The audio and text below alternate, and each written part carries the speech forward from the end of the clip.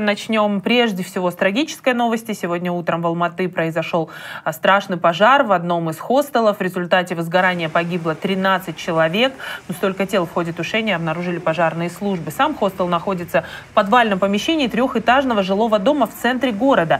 Сообщение о возгорании в пожарную службу поступило полшестого утра. По предварительным данным, в этот момент в помещении находилось 72 человека. Большинство успело выбраться самостоятельно. В основном там жили студенты, туристы, в том числе иностранные, а также рабочие. На место пожара приехал и Аким Алматы Ирбалат Дасаев, и вот что он сказал по ситуации на тот момент.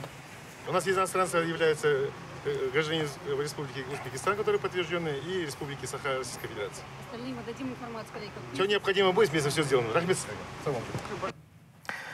Да, но позже информацию по погибшим скорректировали. Стало известно, что из 13 погибших 9 это казахстанцы, а еще двое граждане Узбекистана и еще двое россияне. По предварительной версии, люди погибли от отравления угарным газом. В сети появилась, э, тем временем э, появились фотографии самого этого хостела изнутри, как он выглядел э, до пожара. В общем, это такие маленькие коморки с забитыми почти до потолка двухъярусными кроватями. В таком маленьком помещении могли ютиться по 10 10 человек. При этом в комнатах нет даже форточек, не говоря уже о полноценных окнах. Впрочем, под хостел был переоборудован не только подвал, но и сам первый этаж.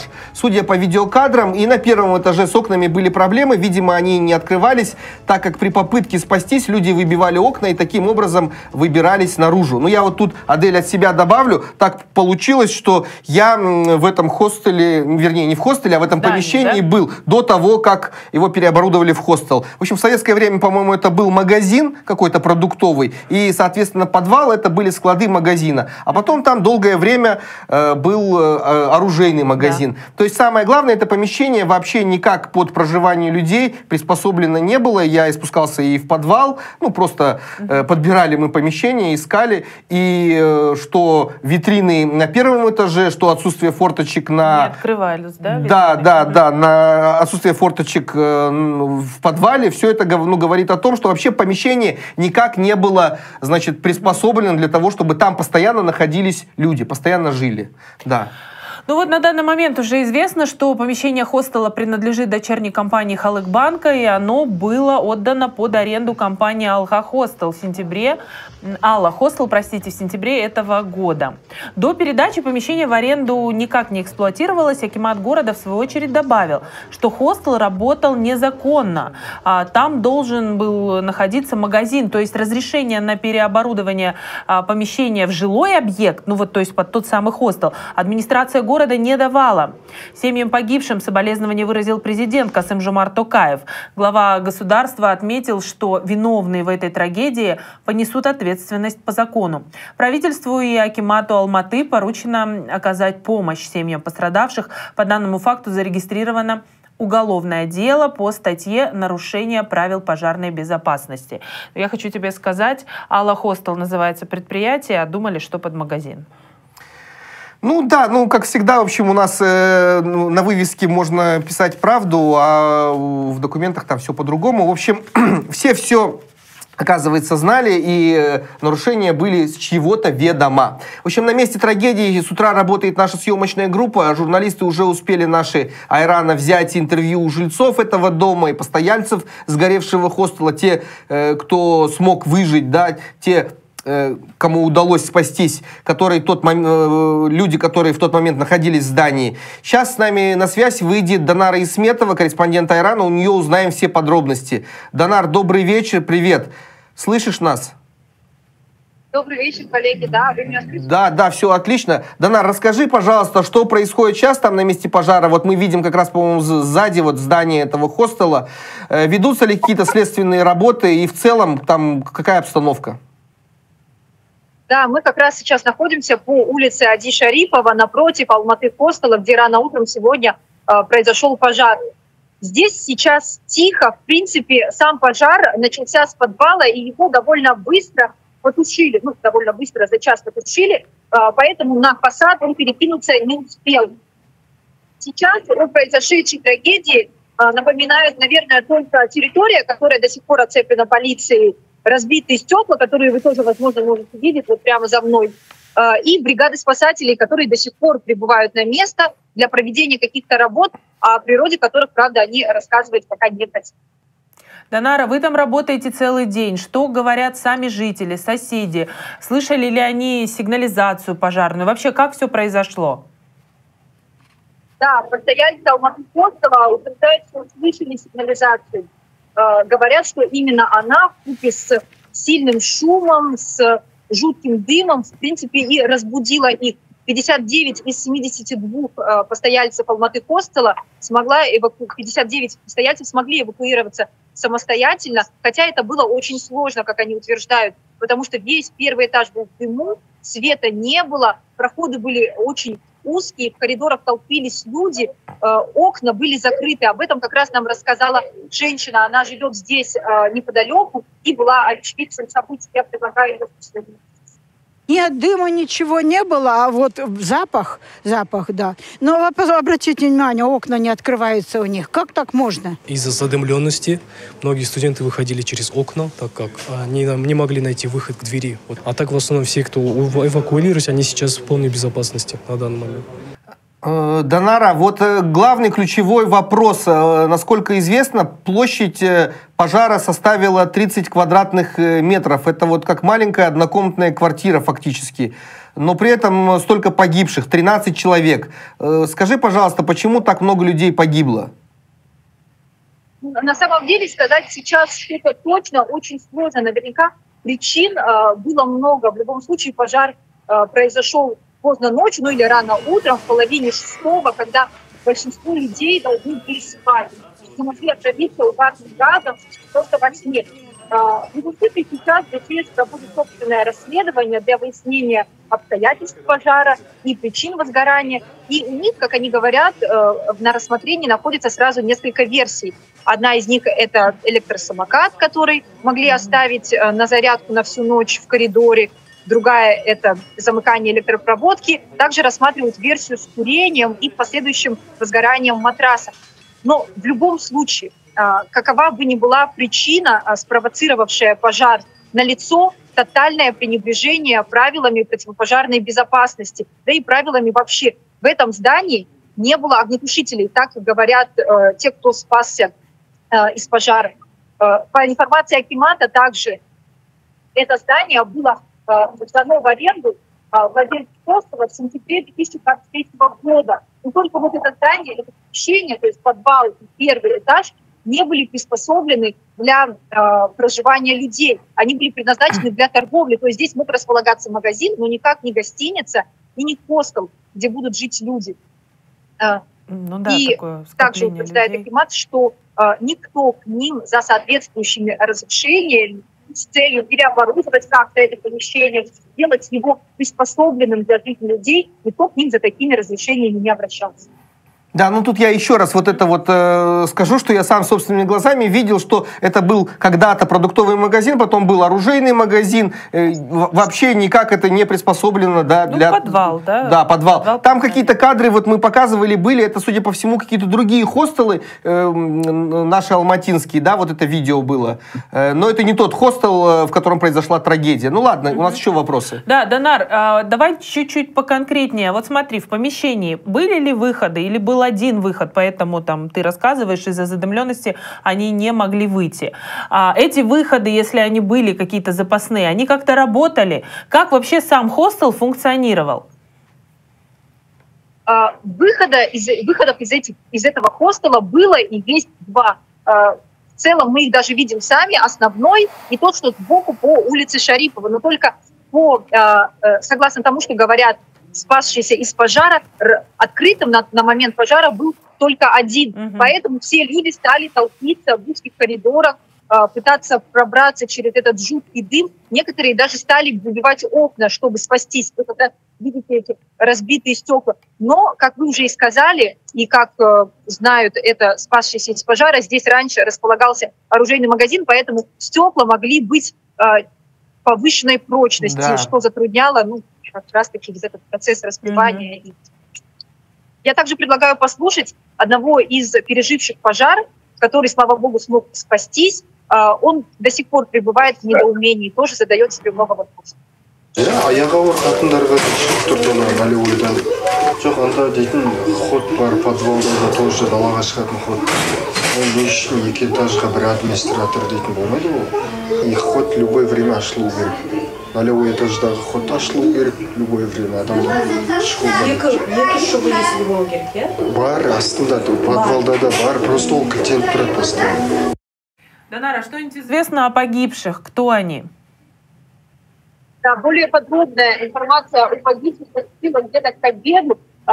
Сейчас известно, что 9 из 13 были казахстанцами.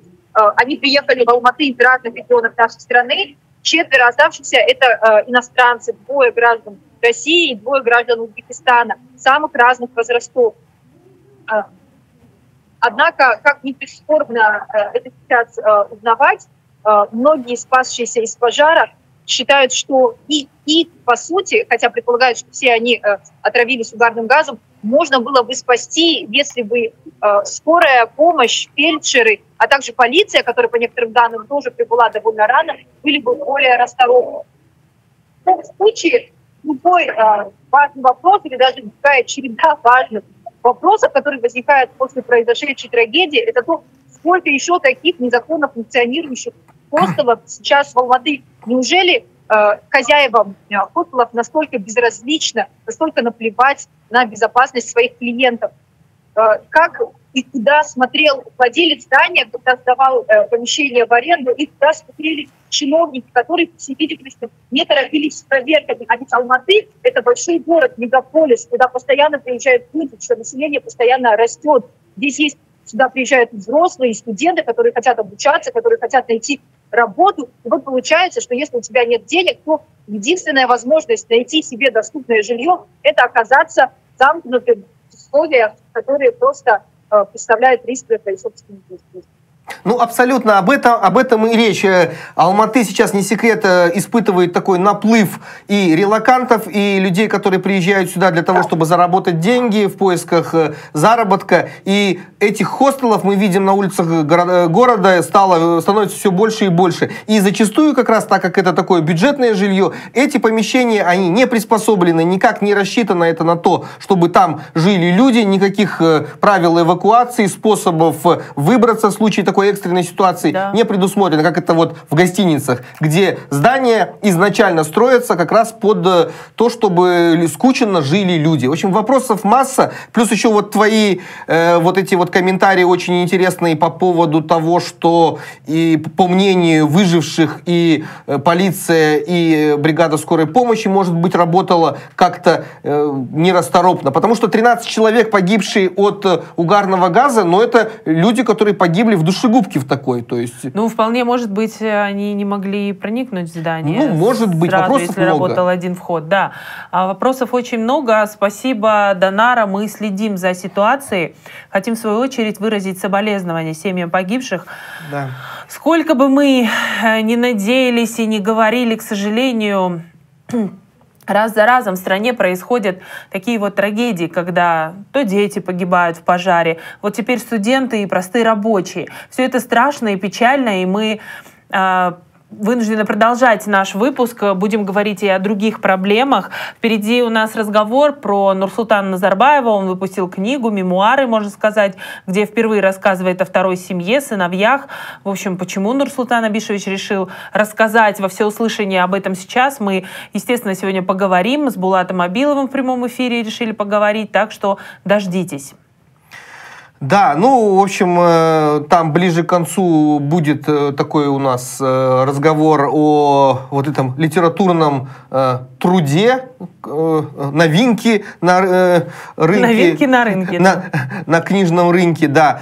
Ну, а следующая новость, она такая, не, не такая игривая, как книги Назарбаева. Следующая новость из мира коррупции и тотального воровства. Ну, то, к чему мы, в принципе, привыкли. В Казпочте, национальная компания, обнаружили масштабные Крупные хищения 270 миллионов тенге. Это стало известно в ходе внутренней проверки самой нас компании. Все полученные материалы о своих недобросовестных сотрудниках Казпочта передала Департаменту экономических расследований. Сотни миллионов, выяснилось, э, похитили путем мошенничества, хищения, краж, незаконного вознаграждения себя самих. В общем, э, в Казпочте воровали как могли. В целом, на данный момент зарегистрировано уже 11 уголовных дел в 7 регионах. То есть воровали не только там в одном регионе, а Казпочта это же большая компания национальная, воровали тоже с национальным масштабом.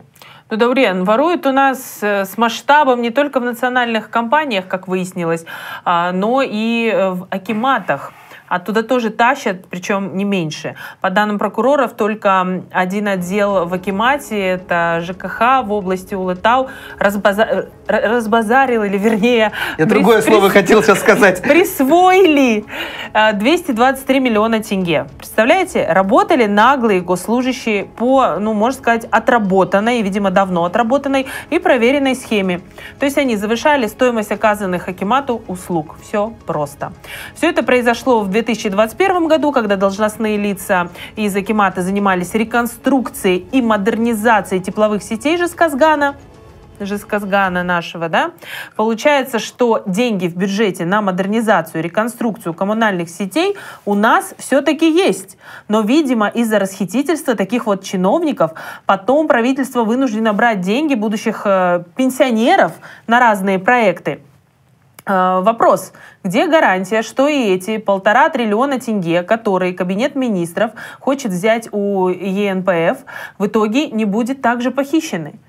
А, то есть опять э, завысят цены, а потом скажут, вот, смотрите, все по чеку, все выполнено и все по чеку. В общем, коррупцию в этой стране, ну, не хочется говорить, что, видимо, не победить, но страшно думать, что победить будет очень сложно.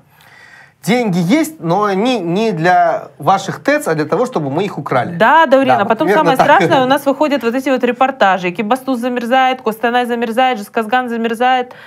Да. Понятно. Ну, э, идем дальше. В Карагандинской области суд отправил почти на 7 лет в тюрьму местного жителя за участие в войне в Украине. По данным суда, 34-летний Алексей э, Шомполов или Шамполов, наверное, Шомполов от слова Шомпол, в общем, житель поселка Топар, воевал в составе ЧВК «Вагнер» против э, Украины. Его признали виновным по статье наемничества и отправили на 6 лет и 8 месяцев в тюрьму. Э, помимо этого, суд постановил конфисковать у него деньги в размере 205 тысяч рублей, которые, видимо, он там заработал, которые ему э, Пригожин дал за то, что он убивал ни в чем не повинных людей. В общем, по текущему курсу это больше миллиона тенге. Э, эти деньги наш суд э, вполне разумно посчитал добытыми преступным путем. Из приговора суда следует, что этот самый Шомполов в марте этого года в социальных сетях прочитал сообщение о высокооплачиваемой работе, работе в России. Ну, даже после того, как ему сообщили... Извини. Да? Оказалось не Арифлейм, да? Оказалось не Арифлейм и не э, доставка да, еды. Про, про еды да, на дом, да. да. да. А, оказалось, что ему нужно убивать украинцев, э, и, но это его не смутило никак. И, э, в общем, поехал он воевать в Украину и отправился на фронт, и наемник из Казахстана в составе других наемников что делал? Заряжал пушку Д-20. Не знаю, что это значит, ну, я, я так думаю, ничего хорошего э, в, в такой работе нет. Но, э, к счастью, повоевать долго не смог, практически сразу этот Шомполов был ранен на фронте и комиссован, и вернулся домой в Казахстан. И тут уже его задержали наши спецслужбы. Сам Шомполов просил суд не лишать его свободы, а дать более мягкое наказание. Ну вот, э, в итоге, впрочем, срок ему назначили не максимальный по этой статье, там грозит 10 лет, а даже меньше 7 лет. Вот такая новость. Да, новость, по сути-то, не веселая, потому что очень огорчают такие факты, что люди еще у нас, у нас в мирное время рвутся на войну и э, еще и участвуют в... Очень огорчает, что казахстанцы вообще э, решают проблемы не Казахстана и не могут э, придумать, как заработать деньги более экологичным путем. Вот я, да, и хотела сказать, что еще и печально, что за любые деньги уже узнал о высокооплачиваемой работе, уже понимает человек, что это это война, это риск э, твой прежде всего, это не самое благое дело. И вот такое вот выходит. Это новость, в общем, и смех, и грех называется. Следующая новость, она у нас связана с корью. Сегодня у нас казахстанские новости. К сожалению, ситуация по заболеванию в Казахстане выглядит угрожающей. По официальным данным, в стране уже зарегистрировано более 17 тысяч заболевших корью, и большинство, свыше 80%, это дети. Некоторые больницы вообще переполнены, уже 30 детей находятся в реанимации в тяжелом состоянии. Есть и те, кого подключили к аппарату искусственной вентиляции легких. Половина из тех, кто в тяжелом состоянии, это дети до года, совсем малыши.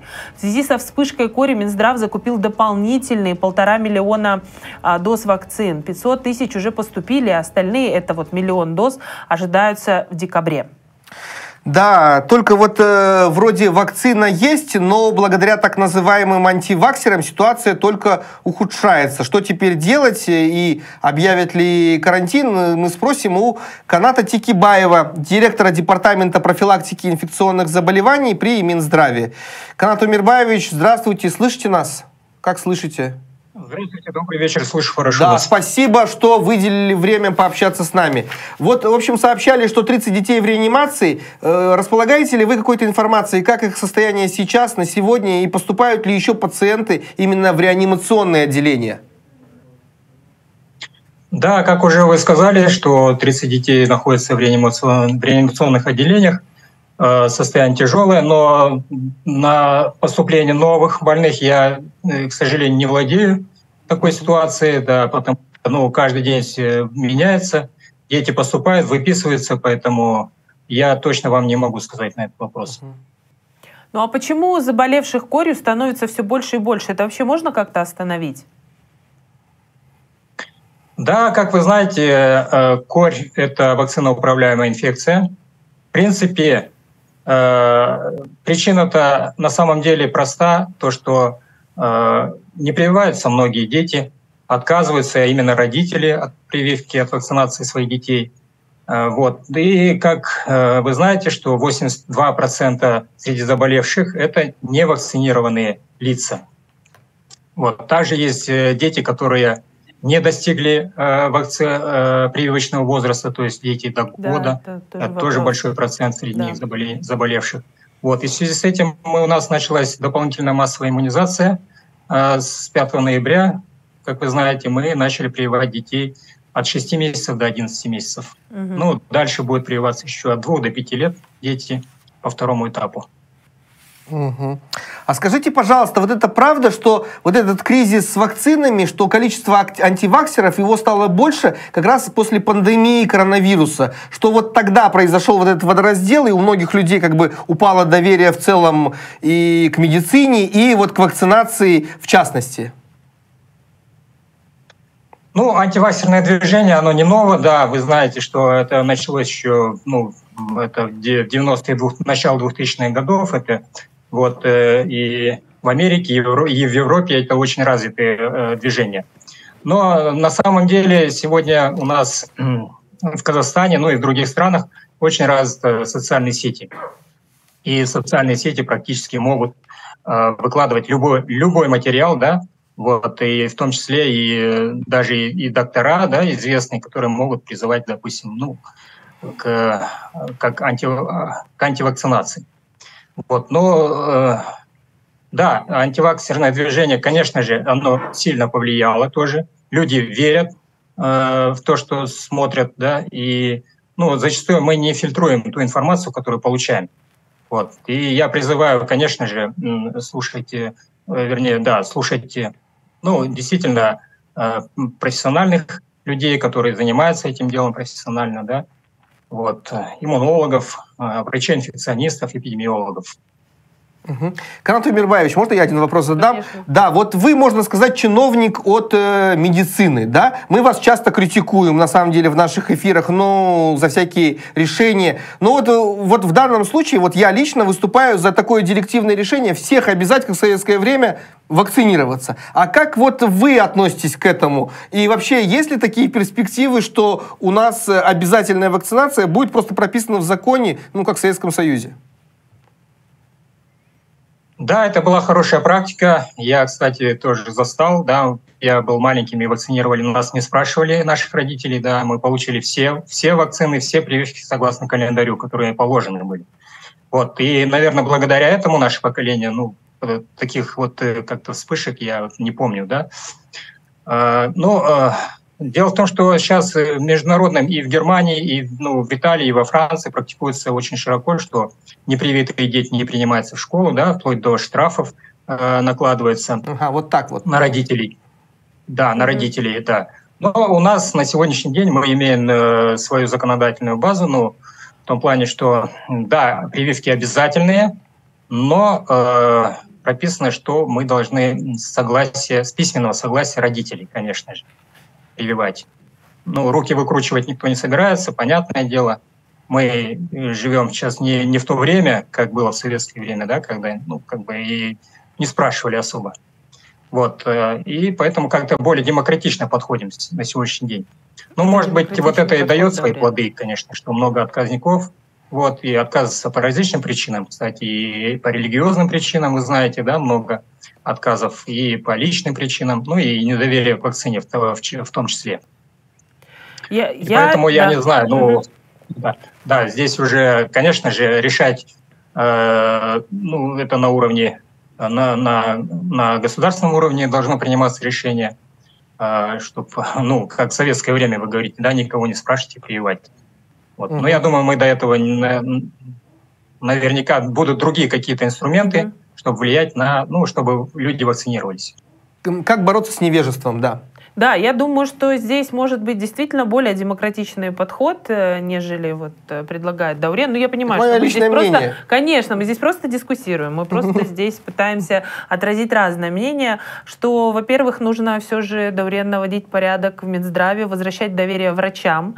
А, люди должны получать гарантию, что прививки а, закупаются в нормальных странах по нормальным тендерам нормального качества, что они доставляются и хранятся. Помнишь, вот паника была Э, с теми же прививками э, с ковидом тоже было, угу. было много вопросов, что они ставятся не просто медсестрами молодыми, а компетентными врачами или после осмотра угу. врача.